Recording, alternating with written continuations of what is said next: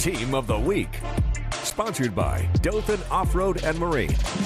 Those